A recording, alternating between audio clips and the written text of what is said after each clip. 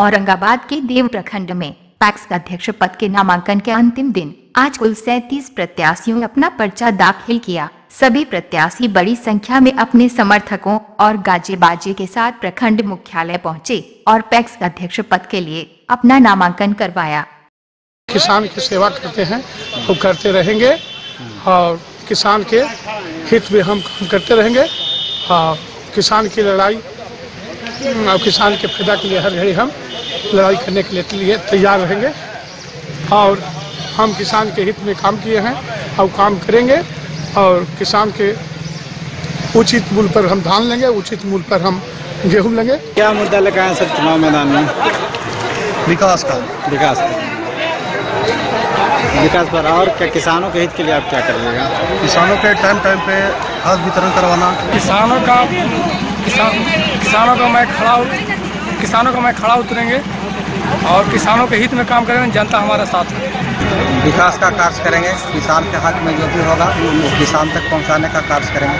हम जनता के हित में कार्य करेंगे किसान मजदूर को काम करेंगे किसान को हित में काम करेंगे दुबले पिछले को काम करेंगे।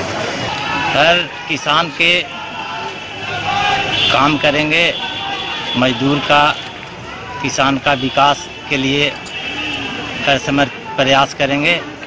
इसी सोच के साथ पैक्स चुनाव में मैंने उतरा हूँ।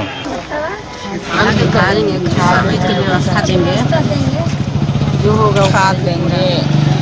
और कुछ को सहयोग और बराबर हम तत्पर रहते हैं गरीबों की सेवा करने के लिए।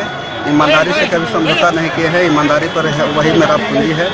और बराबर गरीबों की सेवा में लगे हुए रहते हैं। हाँ पैक्स के विकास के लिए खाद खाद हाँ हर एक किसान को खाद की समस्या है या धान खरीद का संभावना है तो उस पर हम खरा उतरने का प्रयास करेंगे। किसान को पुरजोर मदद किया जाएगा और किसानों के लिए संघर्ष किया जाएगा और हर ज़रूरत कार्य को किसान को मुहैया कराया जाएगा। जीत कर जनता के सामने हम आएँगे और जनता को जो भी समस्या होगा निस्वार्थ होकर उसको सेवा करेंगे जो भी कमी बेसी होगा सबको पूर्ण करेंगे हम काम। और अपने ढंग से करेंगे, जो सबको जनता को खुशी मिले, सबको किसान को खाद मिले, खेती उपजन हो बढ़िया से, हर तरह के घूम घूम कर, सब जगह सर्वे कर कर, निरीक्षण कर कर, जो चीज़ किसान को कमी होगा, उसको मैं तह दिल से उनको हम भरपूर